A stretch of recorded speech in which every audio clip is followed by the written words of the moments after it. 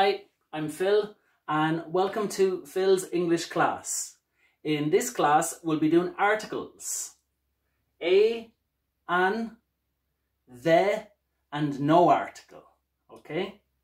So let's take a look at the first, A and an. I saw a beautiful dog today. So you use A the first time you mention something. You're starting a conversation and you say, I saw a beautiful dog today. Let's take a look at the next example.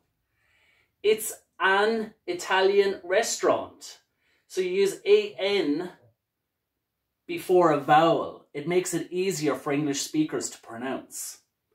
And you're using an here because you're describing what something is. You're saying what it is.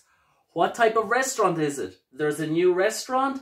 What type of restaurant is it? And you say it's an Italian restaurant.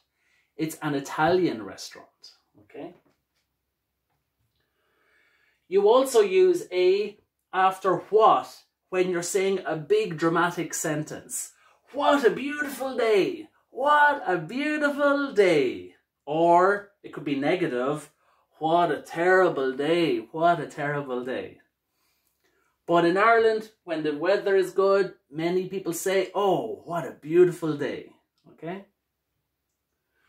We also use it for frequencies of time. I upload videos twice a week. I upload videos to YouTube twice a week. So you could say I upload videos once a year, month, or something, okay? So you use A for frequencies of time. Now let's take a look at the. The dog was big and white.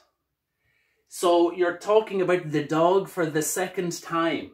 The first time you say, I saw a beautiful dog today. I also saw a beautiful cat. The dog was big and white. Okay? The moon looks so bright. So bright when it's when it's so bright. Wow, it's so bright. We say there for moon because there's one moon.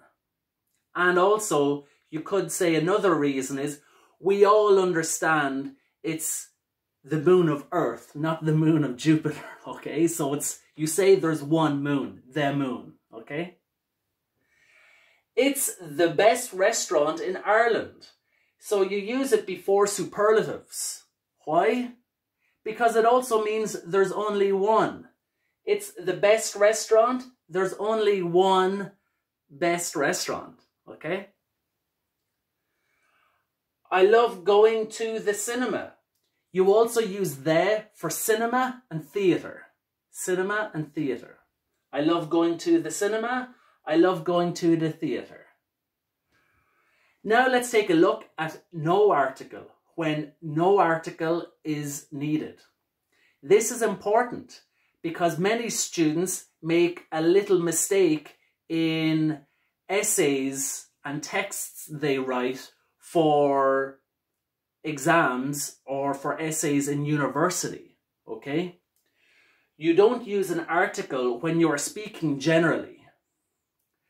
So you could say, Irish people love good weather, okay? I don't say they're Irish because I'm speaking generally, so it's just Irish. Let's take a look at the first example. Children love computers. Are they specific children? No, it's general. So it's children love computers. Are they specific computers? No, so it's just computers.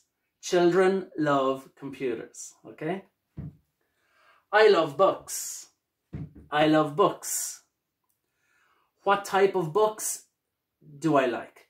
I love the old science fiction books. Okay, I love the old science fiction books. So the old science fiction books, that's specific. I love books, that's general. The next example. I eat breakfast every morning. So you don't use an article before meals. So I eat breakfast, I eat lunch, I eat dinner.